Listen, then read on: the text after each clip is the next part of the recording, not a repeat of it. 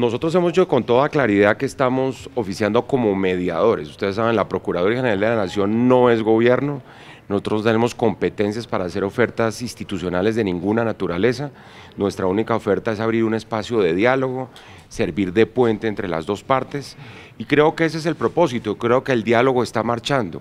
Mi objetivo en este momento es tratar de solidificar un camino de convergencia en donde se pueda demostrar que se da un acercamiento entre las posiciones del gobierno y los líderes sociales y que el diálogo avanza. Ustedes se pueden imaginar que los líderes sociales tienen que regresar a Buenaventura, tienen que socializar, como se dice hoy en día, las conclusiones de esta reunión.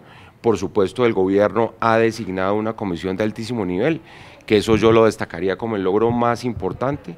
Tenemos en este momento en la mesa a seis ministerios, cuatro ministros, dos viceministras, el secretario general de la presidencia, y eso le da mucha efectividad a la mesa en la medida en que se tiene poder de decisión y se tiene plenos poderes para llegar a conclusiones. Eso es todo lo que les tengo que decir al Señor Procurador, en el tema penitenciario, eh, el general Oscar Naranjo dijo que actualmente en las cárceles hay más víctimas que victimarios. ¿Usted qué puede opinar de eso? Sí, eso hace parte de toda la crisis. Yo creo que no hay un sector social más golpeado que el sector penitenciario, porque, porque es un problema social, es un problema social que hay que resolver, es un problema que Colombia no ha resuelto, no hay política pública, hay descoordinación institucional, no ha habido voluntad política ni ha habido voluntad real para cambiar el presupuesto que siempre sigue siendo exiguo del tema penitenciario, no únicamente en materia de construcción de cárceles, sino en materia de programas efectivos de resocialización.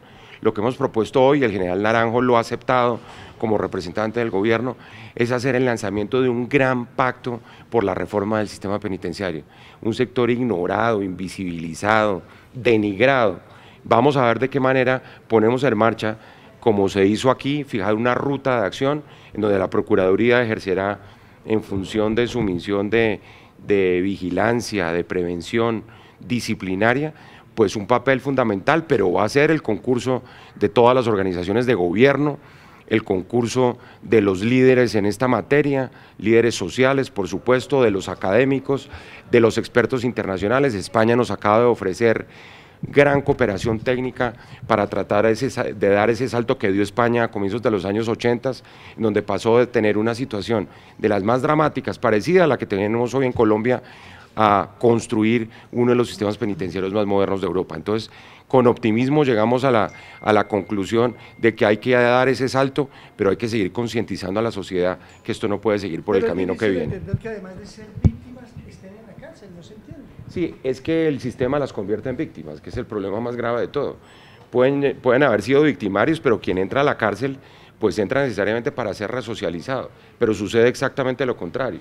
Entonces, si es el sistema el que está generando ese tipo de pasivos adicionales a la sociedad, por eso, y es entendible que así lo haya dicho el general Naranjo, los reclusos del país, buena parte de ellos, los que por ejemplo no tienen un sistema de justicia operando que les defina su situación de libertad personal, pues son víctimas del sistema. Gracias.